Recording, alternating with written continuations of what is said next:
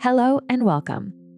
Today, we will guide you through connecting and programming the G17F module to the NSC fire alarm control panel.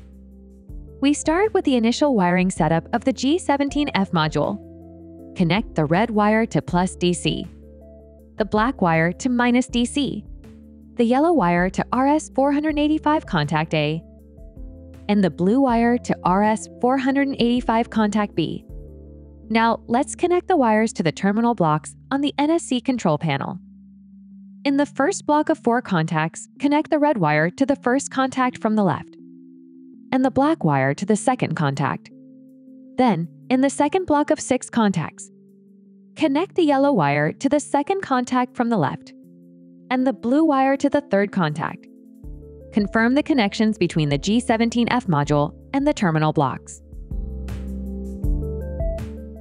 Identify the junction on the NSC control panel where the terminal blocks should be connected.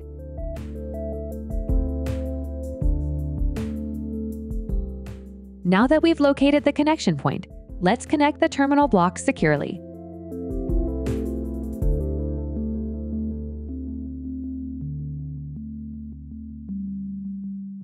Moving on to the G17F programming settings using the TrikdisConfig program, navigate to System Options and set SIM card parameters, including the SIM pin code and APN if necessary. Under Users and Reporting, enable the cloud service in the Cloud Application section. In the Modules section of the TrikdisConfig program, locate and select the NSC Solution Control panel from the list of available modules. Take note that you do not need to input a serial number for the NSC Solution Control panel. Don't forget to save the settings by clicking the right button. Now let's demonstrate how the system works with the Protegus 2 Smart application.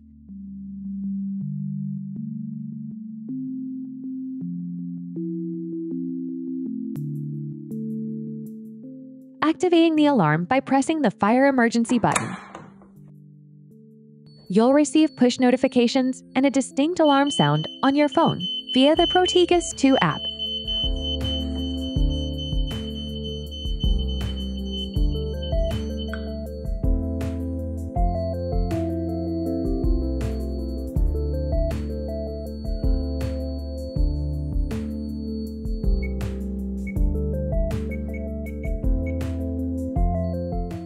Now we will cancel and reset the alarm on the control panel.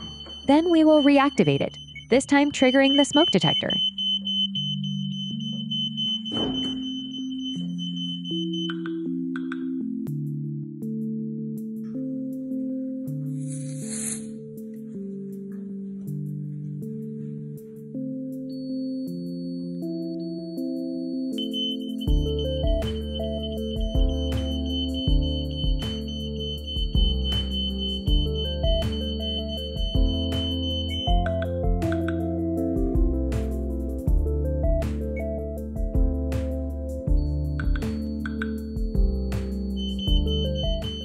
That concludes our demonstration. You're now familiar with connecting and programming the G17F module and using the Protegus 2 app with the NSC Fire Alarm System. Thank you for your time till the next time.